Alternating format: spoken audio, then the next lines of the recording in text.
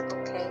Um, it's expected when people are taken out of their normal environment and put into something that they didn't imagine would happen. And also with the news and um, with a lot of information that's circulating, it doesn't make it easy to, you know, um, relax because a lot of people are worried about their loved ones, the ones they can't actually go to, or even the people they're related to abroad and how situations are in different parts of the world.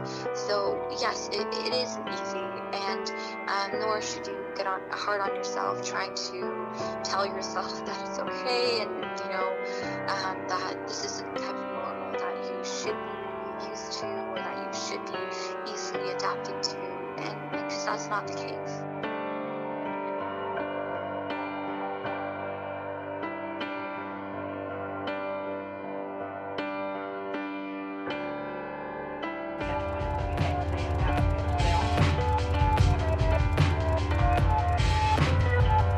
This is Fem Radio, a production of CJRU's Feminist Radio Collective.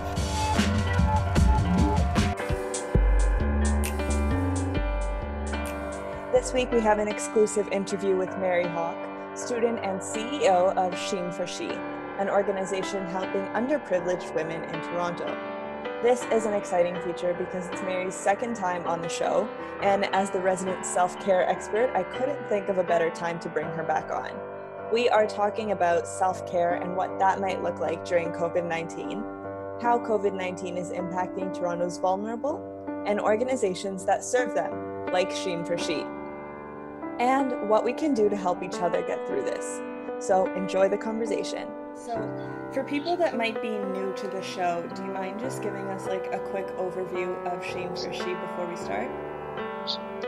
Sure. So, um, the Sheen for She Foundation is a Canadian nonprofit, and we are a women's organization trying to solve women's issues with self care services. And we're trying to spread a message that um, self care is very important for underprivileged women in our society because they often neglect their basic needs and themselves and undervalue their importance. So then their contributions don't often reflect how they see themselves. So, for example, if we see um, women who are on the brink of poverty, they don't think about themselves first. Instead, they're more focused on the challenges they're facing.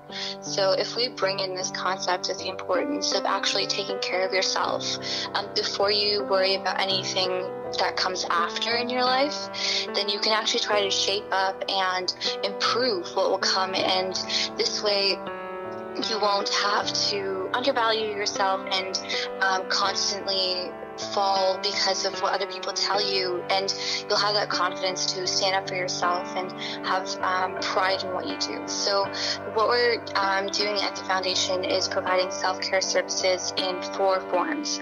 The first one is healing circles. So it's basically a friendship group where all of our women come together to tell their stories. Oftentimes these women are not heard and a lot of people don't have time to you know even understand the situations the backgrounds that they're coming from um, so it offers them a unique opportunity to talk and sort of let it out, you know, just say it and um, relieve themselves of whatever burden or stress they were feeling. Um, in the healing circles, we also have professionals such as like lawyers or doctors join in and sort of join the conversation, guide the dialogue, and provide their expertise. And because these profession these professionals are not, not normally um, available um, to women, they when they come in, it really you know changes up the way they want to share their questions and um, sort of show their stories in a way that there might be there might be a space for them to ask for help or um, sort of, you know, get those, um, get uh, valuable advice from those um, people. The next one that we offer is aesthetics. So it's um, basically um, facials, manicures, pedicures. We have and um, laser hair removal. Um, we do all this because we want to um, improve not only what's on the surface, but we understand how it can affect what's inside of us. Sometimes, for example, there are women who are coming from abusive relationships and they have scars or things that um, they've brought back from their experiences and we want to give them a new face so that they don't have to answer questions when they go for a job interview regarding their past relationships that they don't want to talk about.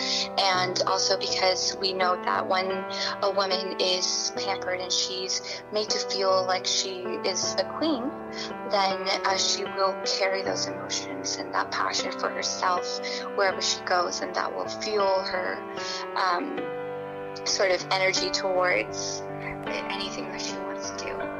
The other thing that we offer is self-defense training, so it's pretty self-explanatory. We um, teach them how to defend themselves in situations that can turn into a possible um, possible like life and death sort of situations. But also, we teach them that self defense is something that you're defending yourself against bad health. You're defending yourself against um, something that's not affecting your mind very well. You're getting rid of stress, anxiety, depression, or you're trying to alleviate any of things that are clogging your mind, and you just want to get a straight focus towards your goal. So um, we offer meditation, yoga, and try to get them onto a track where they feel more comfortable about their bodies, but also about their skills to defend themselves. The last thing we offer is self care training, and the self care training offers makeup, skincare tutorials, and we have we have a professional element to this as well. So then we have mock interviews, we check resumes, cover letters, and get them job ready. We do image consultancy to prepare them for the workplace and to make sure that they know how to carry themselves in that kind of environment and to excel in their careers. They know exactly what skills and what job etiquette takes them there. So that's that's what the Sheen She Foundation is about. Yeah, so it's really sort of like there's so many moving parts to this organization, and you're the founder, right? Yes. And you're also a student, which is crazy. So, what are you studying?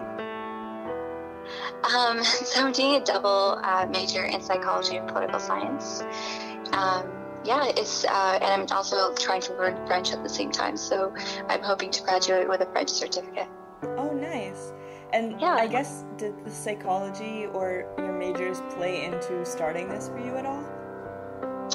Um, I think that maybe not so much starting it, but I feel like it's really helped me um, live into it. Sort of, I'm getting into the flow of understanding how women you know, under, the way they think about their environments and the way they act. And I'm, I'm beginning to understand them more than I thought that I already knew them.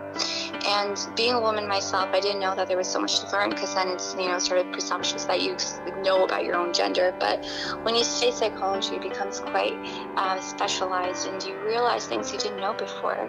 So I guess it makes me more um, understanding of the women that I work with. And it definitely helps me when I work with the organization. So, yeah. And yeah, perfect. So this is actually your second time on Fem Radio uh, with us, so welcome back. Uh, I thought, in you know, with everything going on, having someone focused on self care would be like perfect for this episode. So um, I thought of you, obviously.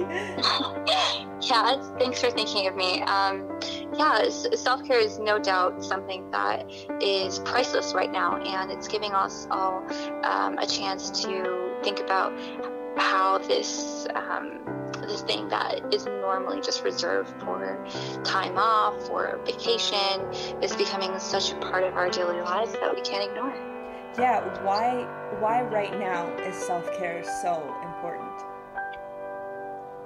Well, um, the coronavirus uh, has given us a unique opportunity to um, really sit with ourselves and understand in isolation, even in quarantine, that we are important.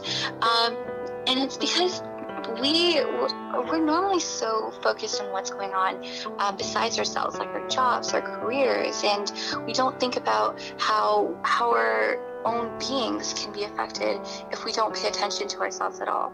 Um, but with the coronavirus, we are thinking more about hygiene and we're focused on improving how we can, how our actions can impact others. And we need to make sure that we have cut off like ourselves from people that we normally meet, like our friends or uh, colleagues. So right now, self care is extremely important because we need to uh, start becoming conscious about our health practices, how much we wash our hands, how much we, you know, take part in things that uh, keep germs away from us, and also how we try to uh, collaborate with others in a distant way, like the like the way we're doing an interview right now. So these are things that are a little bit new because we in our in our regular lives we are required to go in person. But um, yeah, there are a lot of things, a lot of new things to learn from this situation. But um, self care is definitely translating to hygiene for now. So I guess what's surprising me about what you're saying is that self care isn't really. It is the way that we looked at it before this, but there's also this new component, and that everything you're doing for yourself right now to keep yourself safe can be counted as self care. Is that right? Um, definitely, because you're keeping away from. Uh, when you're keeping away from other people, you're actually doing something that is mandatory right now because uh, we want to we want to make sure that we stay connected while being away from each other, which is not so connected in terms of distance. But um, hygiene has always been a part of self care. It's not something new, but now it's become a focus. And when we think about, for example, um, for example, one of the things that we do is um, skincare, right? And uh, we we always begin with uh, trying to uh, begin our faces like sort of fresh by cleansing, and um, that would be one of the first steps that you take when you're uh, applying makeup, or one of the first things that you would do when you're t- uh, starting something new. You would just cleanse and sort of not in a way that first you wash your face, but also just clear off something or um, get clean. This is all hygiene, and when we when we begin self care, it always starts at this. We want to start new. We want to start fresh. So right now, in in this time hygiene has sort of come to the forefront of what self-care means. And not just self-care for you but also self uh, also care for others. Yeah and then there is that component of it where you're still trying to take care of yourself obviously mentally as well because this can be very tough on some people. Definitely.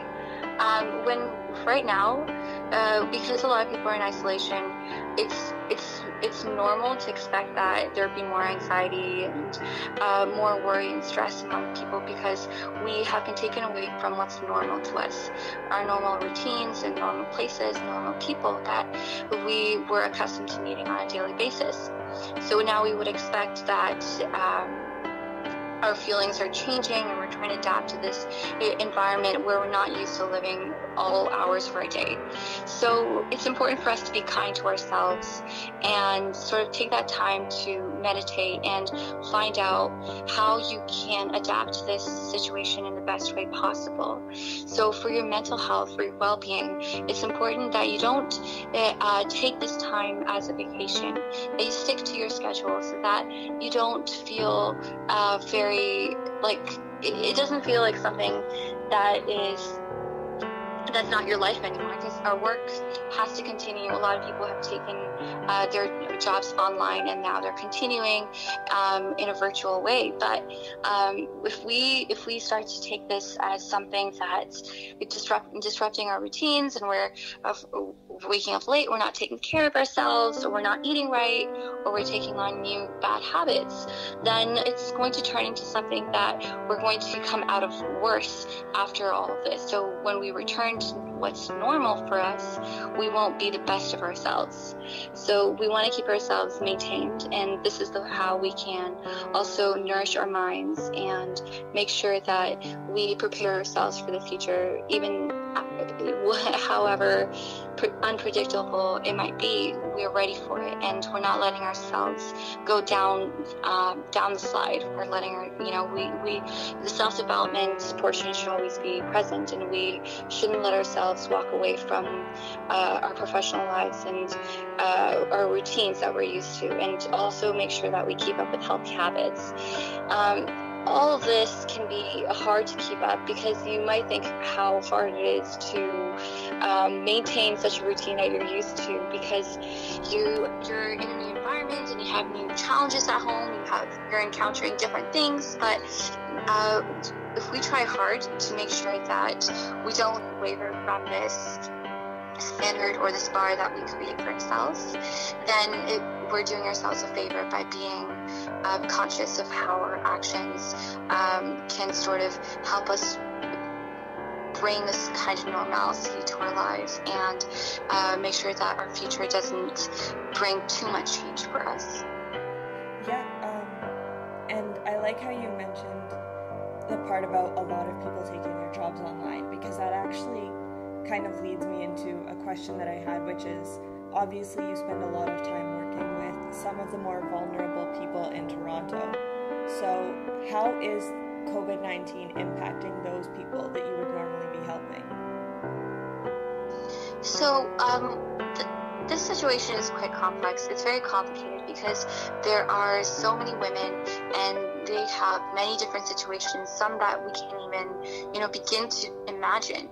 But if you bring about some of the most, uh, some things that you can, uh, like some of the most things that are um, more noticeable, for example, um, women in shelters, it's hard to keep up with social distancing and hygiene practices when there are several women in one spot and um, the resources can be limited and uh, where they're coming from uh, the reasons why they're in the shelters can, um, on top of that, be a challenge for them to cope with. So I think that um, when we think about women in shelters and or women uh, who are homeless, then it can be something really unique, and uh, we need to we need to think about how um, we can accommodate these women to standards that we have at home. So the best things that they can do is sort of keep up with their hygiene as much as they can, wash their hands frequently, keep away from people as much as they can, keep at least two meters distance from anyone who's near them, and make sure that they find places that are clean and try to help help out with the environment, help out with uh, the people that are with them to to stay sort of organized in the system, create an organized system in which they can maintain hygiene practices and uh, support each other without getting too close. Um, another situation that we can think about that the COVID 19 uh, virus sort of brings about women that we work with is domestic violence. A lot of women are at home right now, and um, when we think about the situations that they were already facing when they came to this organization, um, now they are sort of isolated from the, the community and uh, in an environment that they don't feel comfortable in. So it, I think that this is this time that they're spending in isolation could increase the amount of domestic violence they face, or and it can it can. Uh, it can worsen. It can worsen for them. However, what they can do to improve it is take this time as an opportunity to think about their situations, evaluate what they're going through, and plan what's going to, uh, what they can do. Um, what they can do coming out of this. I think a lot of the times what we need is just time with ourselves to uh, plan out what our future can hold for us if we take a certain step and if we find the courage to take an action that can help us escape from a situation. Um, the other thing is that resources uh, such as shelters, but also helplines, are available for women. So uh, if the if the need be, then uh, it's definitely a route that they should look out for and uh, never feel that they, even in this isolation, are alone because a lot of things are going on with social media and how to connect with people even at a distance. So this is something new that our communities don't normally use, but um, now that this is our only way, our only means of communication, I think that um, especially vulnerable women, um, either in their homes, shelters, on the streets, we can use and should try to reach out to people, even if it's just online to let them know about their situations and um, plan out their next steps to use this time wisely, even if it's just to meditate and care for themselves, to prepare them and strengthen their souls so that they don't break down. Yeah. So it's definitely different depending on the situation, but I think you've thought about it a lot, and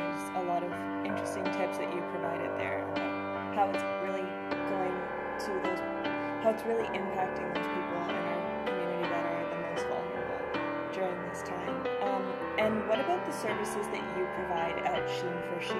How has COVID 19 been impacting your business? So, our organization unfortunately had to stop all our programming because it's all in person, and um, we we had to do this obviously because um, we didn't want to spread anything, and we wanted to make sure that we are doing what's in the best interest of our queens. Uh, so, fortunately, we are uh, again using this uh, communication. Uh, we're transferring all of our communications online, so we're checking in with everyone, with all of the women that we work with, and we're emailing them. We're also uh, sending in calls to make sure how uh, everything's going, to see if they're all right, if they need anything, how they're feeling, if they want to talk. There's so much to share when it comes to just even online communication because whether you're on the phone with someone or you're just uh, writing uh, through an email, it gives them a chance to connect with the organization. And um, it's a form of acknowledgement that someone is there for you, even in this time when uh, you're technically isolated. So if you're if they're given a chance to express how they're feeling, you know, share their emotions and uh, tell us if, if they need anything, then we can direct them to resources such as like helplines and um, or resources to get food or where they can uh, go to seek help. So even though um, we are not there with them in person, it gives them an out, um, sort of um, a source that they can always be in touch with. So we don't want to lose that uh, connection. And um, this is all we can do right now. But we hope that uh, by doing so, we are um, we are in this with them, even though we are away.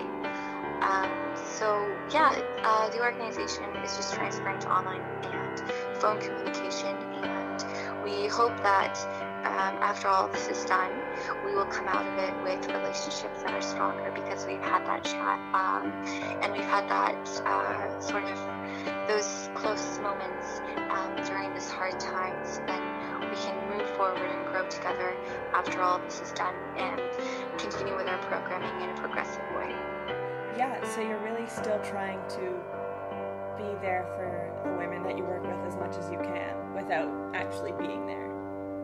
Exactly. Um, and I guess, what do you, what would you say to some people who might be having trouble getting into those routines that you mentioned earlier, or really just having trouble sort of relaxing and easing into the situation? Um, first of all tell them that it's okay.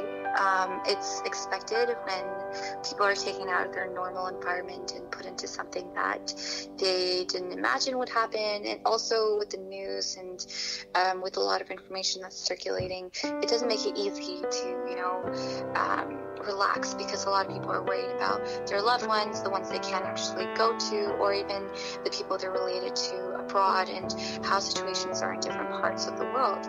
So, yes, it, it isn't easy, and um, nor should you get on, hard on yourself trying to tell yourself that it's okay and, you know, um, that this isn't the type of normal that you should be used to or that you should be easily adapting to and because that's not the case. Um, uh, we should be kind to ourselves again, and um, the first part of problem solving is acknowledging that there is a problem and then trying to move forward from it. Um, with self care, an important part of it is just acknowledging the situation. After that, just taking time to think about how your daily routine is impacted and making sure that you know what you can do um, during the day. You know, don't spend your time uh, just wasting away. Don't give up on yourself or your work. Don't feel like any like what is going on is going to make it impossible for you to continue.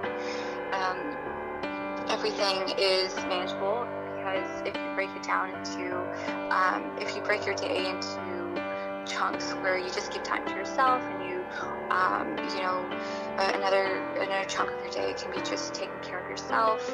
Um, another part can be doing something that you love. If you keep yourself engaged and do things that you if that makes you feel better, then you will definitely start enjoying this time and it can take away from all the negatives that are being thrown at us at this time. But um, another also very important thing is to stay connected with the people that you care about. So even just a phone call or um, something like you know, an email can make a difference because it shows them that you are still thinking about them and they should also try to make themselves feel better and do things that they enjoy doing.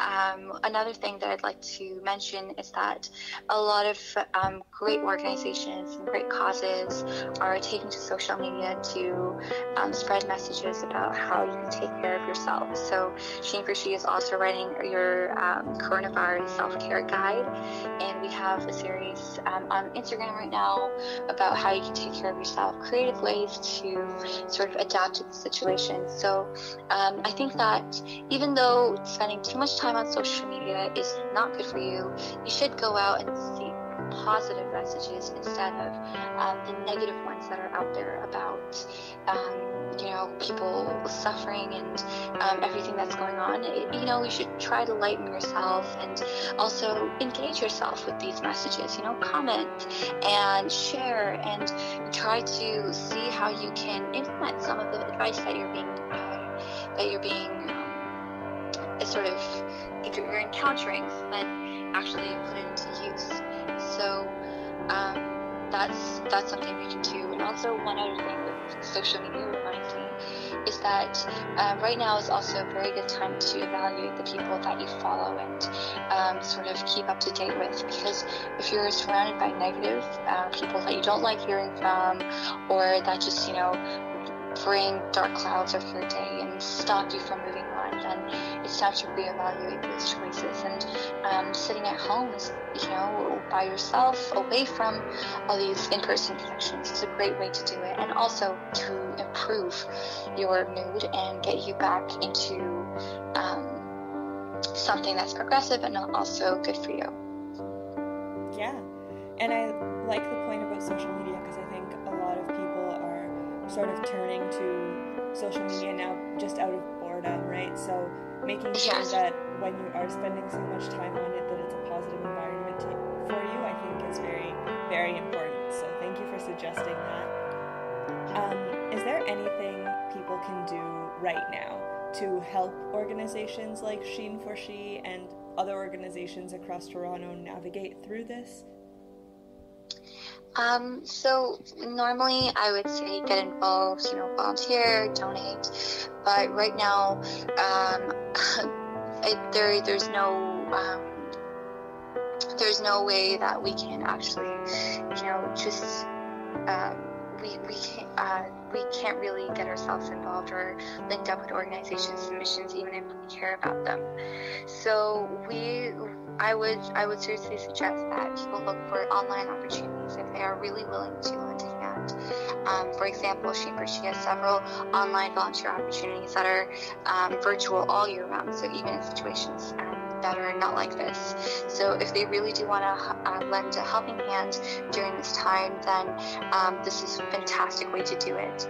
Another is to show that they care and they they have um, well, oh, sorry, I was, I was talking about how we can um, sort of help organizations um, from a distance. So um, when we when we are on social media and we're talking to our friends and we are spreading a lot of different messages, even through ourselves because of our contributions that we're making um, in like when we're talking to our friends and family or when we're sharing posts on social media, we have a lot of opportunities to spread the same messages and sort of spread awareness about the organizations that are working through this coronavirus.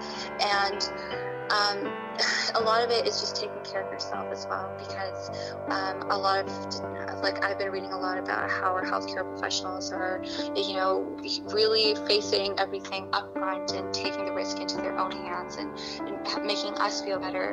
Um, it's important for us to do the same with ourselves and stay home, stay clean, and make sure that we don't do anything that jeopardizes other people's lives.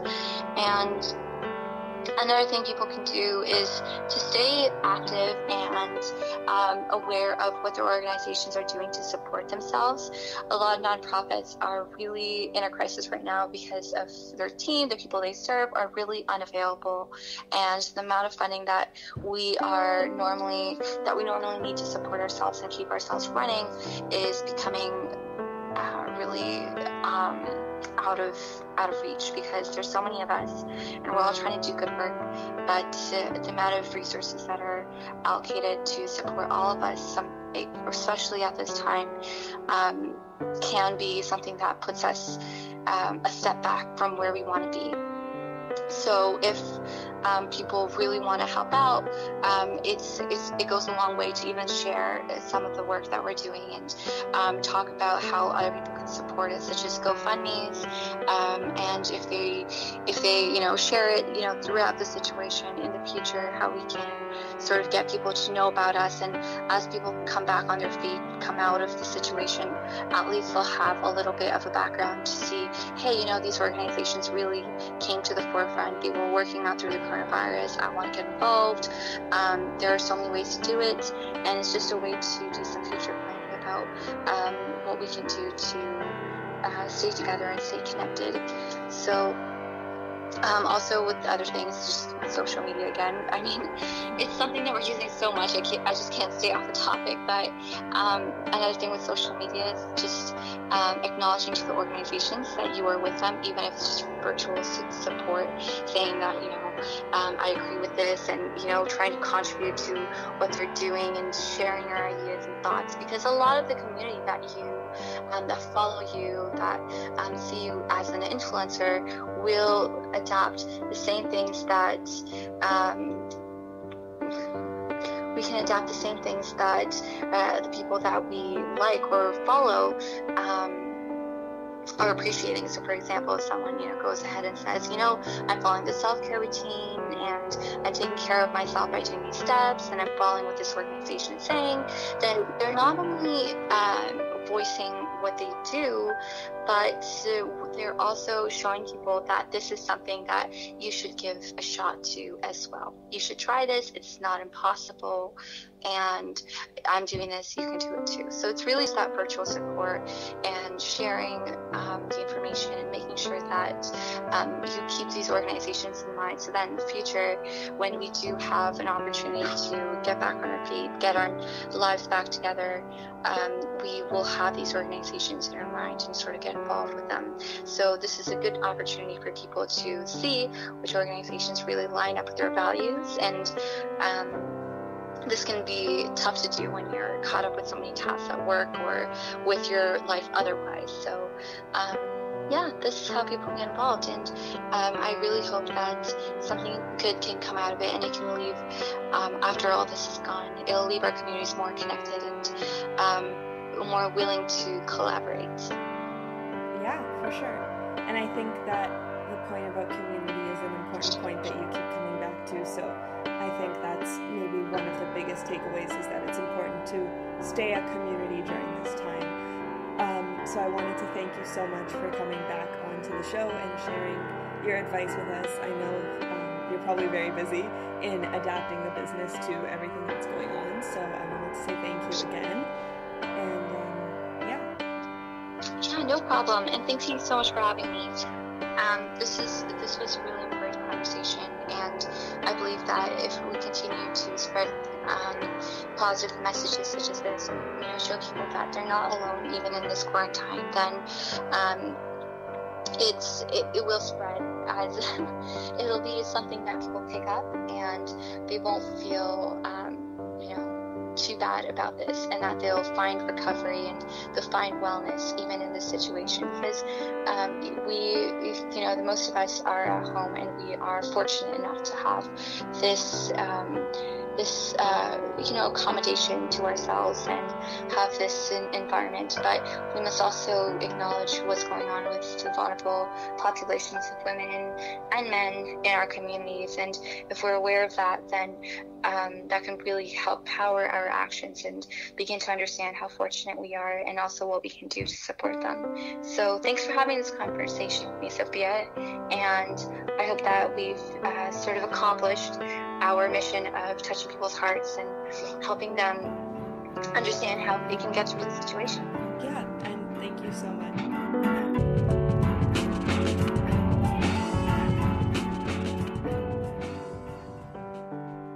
And that was this week's feature story. I hope everyone learned something new and has some new ways to get through this. The Sheen for She website is a great place to get more info and resources, and the link for that will be in the description box of Fem Radio on all podcast platforms.